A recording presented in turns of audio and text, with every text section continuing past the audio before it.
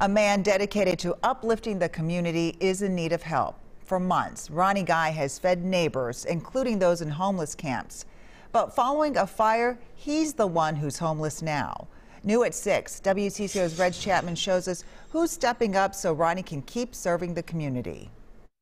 The death of George Floyd compelled Ronnie Guy to go to the intersection of 38th and Chicago. I wanted to do something for the community, so I took like a $1,000 of my own money and uh, bought a whole bunch of food, brought a barbecue grill, and uh, started cooking for the community on 38th and Chicago. Guy began giving away food, and others quickly took notice. And at that point, I knew I needed to help them. So I, I came alongside of them and helped them uh, just do what they do better. I took to Facebook and asked Facebook if you guys want to see me keep doing it, send a dollar or two to Cash App.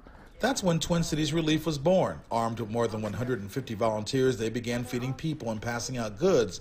The donations were coming in fast, and COVID 19 limited where they could be stored.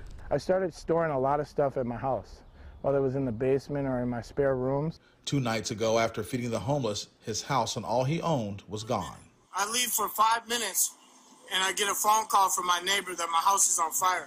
One of the things he was most worried about was all of the things that I've just gotten to be able to go out and continue to uplift uh, the Twin Cities community. Friend Cy Huff says although Guy is homeless, he continues to take donations for others. My hope is that uh, everybody gets the spirit of Ronnie Guy. Uh, that spirit of paying it forward, that spirit of taking care of your neighbor, that spirit of taking care of your community. This is more reason to continue. And this is an eye opener. This makes me want to help families that aren't just homeless, that aren't just down on their luck. Um, this we're going through a pandemic, and I feel like everybody needs relief. Reg Chapman, WCCO 4 News.